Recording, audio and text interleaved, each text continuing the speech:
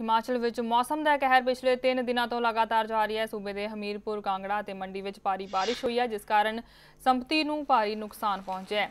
ਉਧਰ ਚੰਬਾ, ਊਨਾ, ਸ਼ਿਮਲਾ, ਸੋਲਨ, ਸਿਰਮੌਰ, ਕਾਂਗੜਾ, ਮੰਡੀ, ਹਮੀਰਪੁਰ ਵਿੱਚ ਖਰਾਬ ਮੌਸਮ ਨੂੰ ਲੈ ਕੇ ਖਤਰਾ ਹਾਲੇ ਟਲਿਆ ਨਹੀਂ ਹੈ। ਇੱਥੇ ਮੌਸਮ ਤਬਾਹੀ ਮਚਾਉਣ ਲਈ ਫਿਰ ਤਿਆਰ ਹੈ। ਜ਼ਿਲ੍ਹੇ ਵਿੱਚ ਮੌਲੇਧਾਰ ਵਰਖਾ ਹੋਵੇਗੀ, ਜੋ ਕਿ ਲੋਕਾਂ ਤੇ ਕਹਿਰ ਟਾਏਗੀ। ਉਧਰ ਅੱਜ ਤੋਂ ਬਾਅਦ ਸੂਬੇ ਵਿੱਚ ਮੌਨਸੂਨ ਦੇ ਆਮ ਰਹਿਣ ਦੀ ਉਮੀਦ ਹੈ। ਸੋਮਵਾਰ ਨੂੰ ਕਾਂਗੜਾ ਦੇ ਧਰਮਸ਼ਾਲਾ ਵਿੱਚ 113 ਮਿਲੀਲੀਟਰ ਮਿਲੀਮੀਟਰ ਵਰਖਾ ਹੋਈ। ਮੌਸਮ ਵਿਭਾਗ ਨੇ ਸੂਬੇ ਦੇ 9 ਜ਼ਿਲ੍ਹਿਆਂ ਵਿੱਚ ਭਾਰੀ ਬਾਰਿਸ਼ ਦੀ ਚੇਤਾਵਨੀ ਦਿੱਤੀ ਹੈ।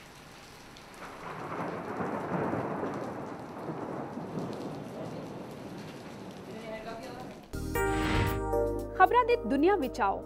ਸਾਡੇ ਨਾਲ ਕਦੇ ਵੀ ਤੇ ਕਿਤੋਂ ਵੀ ਜੁੜੋ। ਆਪਾਂ ਮਿਲਾਂਗੇ ਫੇਸਬੁੱਕ ਤੇ। ਅਸੀਂ ਦਿਖਾਂਗੇ YouTube ਤੇ। ਸਾਨੂੰ ਫੋਲੋ ਕਰੋ Twitter ਤੇ। ਖਬਰਾਂ ਨਾਲ ਜੁੜੇ ਰਹੋ ਦਿਨ ਰਾਤ।